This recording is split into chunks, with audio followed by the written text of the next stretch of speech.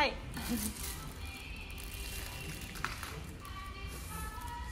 うんうんでも五稜郭の良さはさタワーだよね。ですね。やってきました。ラッキーピエロ函館にしかないハンバーガー屋さんでもうずっとずっと行ってみたかった。はいということで北海道旅行が最後函館に来ました。長かった長かった。北海道旅行編ですが函館が最後なのでぜひ最後までご覧ください。写真でいいですか？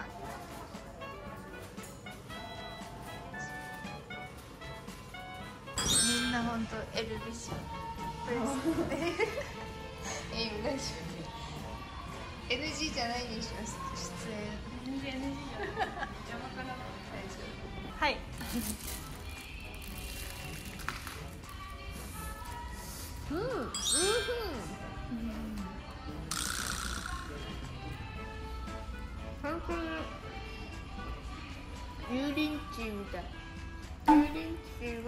鶏が入ってるハンバーガー美味しいです食べにくいと思いますけどうん。ボロボロ落ちちゃうなん。か一口でいかないとさ唐揚げをまずいったそうなん。です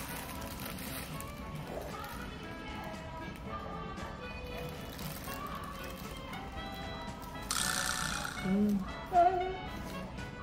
えゴミが売るん。じゃないですかゴミなん。かこれ取ったらゴミが出てきて死にはしない大丈夫だよ大丈夫死なない免疫高めてこう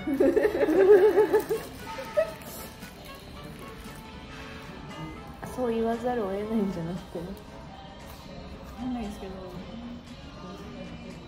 でも何が良くてさ何が悪いんだろうね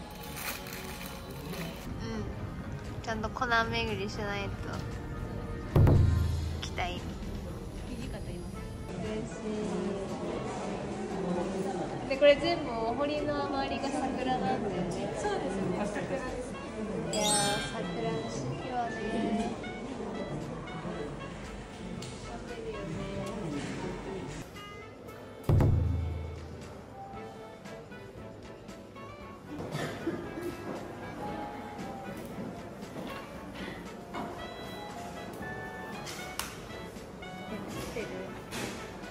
あなたの性格。ごめんなさい。いやいいよいいよあなたなたは生まれつき豊かな感受性と社交性もあり物事を確実に捉え最後までやり遂げる性格あって。る自分が信じたことは頑固なまでに押し通すところがあるが熱中しやすく冷めやすい秋っぽい性格。多少目立ちたがりのところも見られるが友達や身内には温かく触れ合い理想とロマンを求めて青春を送る性格の持ち主だって合ってる？合ってる気がする。なんで喋っていい？あいいんですか？喋って。いえいえいえ結婚。はい。何事にも慎重に臨むので失敗の少ない場合もある。多少は忍耐力にも甘さがあり根性を養うこと。社交性もあり外交方面の仕事に耐性あり。結婚しても家庭にとどまることができない宿命もあり。常識外れの行動や誘惑などには十分注意が必要である。異性関係には慎重に対応し結婚を誤るな。熱中しやすく冷めやすい性格は改めたい。ところ商売運も強く独立開運に成功もあり結婚は容姿ではなく生活力が大切であるんだってさっき言ってたやつです。そう。金運は金銭的なわがままが見られ苦労して貯めても出入りが多く晩年は多少の蓄ええでもね合ってる気がする。え結構合ってるよ。面白い。ぜひやってみてください。コナンくんの映画に出てくる聖地を巡れてとても楽しかったです。五稜郭に行くためには初め少しここが砂利なんですがここ過ぎたら結構整備されてるので行けます。ただ五稜郭の中は車椅子入れなっぽそうだったです。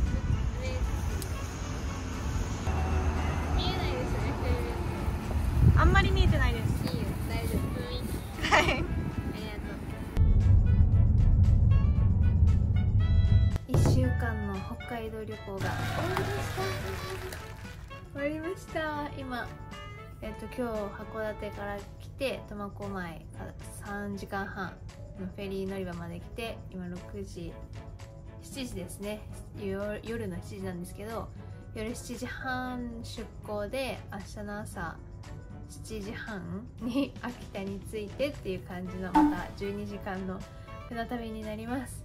1週間ほんとよかった。はい最後のお供は焼き鳥弁当有名な函館の焼き鳥弁当です。なんか汁垂れた。なんとここはねあの北海道にしかない長谷川弁当って言うんだけど他長谷川弁当は函館にしかないのよ。でもこれってうんうまっ。でもセイコーマートっていう北海道にしかないコンビニがあるんだけどそれと同じ系列なんだって。同じ系列なんだけどなんかこう函館ブランドっていうのがあるんだなって知りました。昨日か。昨日夏季にあたって1日ダウンしてたけど今日1日は五稜郭に行ってコナン君の映画にも浸れてラッキーピエロも食べれて春菜ちゃんとも会えてよかったです。また次回夜景を見に行きたいと思います。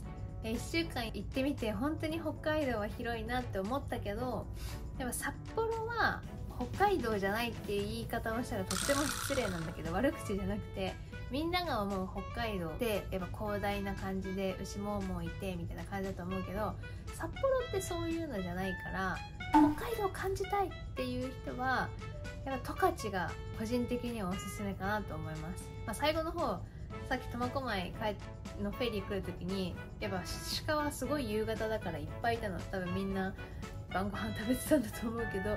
でなんかずっと道路に出てこないな出てこないなって思った最後の最後に最後フェリー乗り場の近くで鹿さん、ね、が道路の真ん中で座ってたりしてたから、苫小牧も結構いい感じなんだけど本当に苫小牧から帯広周りの十勝とかで帯広十勝から網走っていう方に向かうこの下の道がすごい良かった。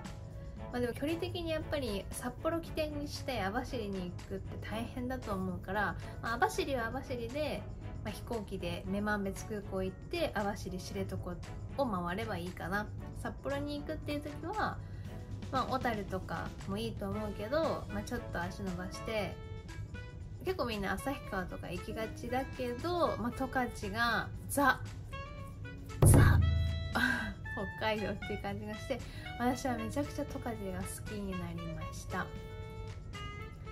ねはいそんな感じでまだまだもっと稚内の方とか行かないとまだまだ北海道のことを知ることはできないと思うけどあでも本当にウポポイも行ってほしいね、まあ、札幌起点にしたらウポポイは行けると思うからレンタカー借りでウポポイも行ってほしいなって思います。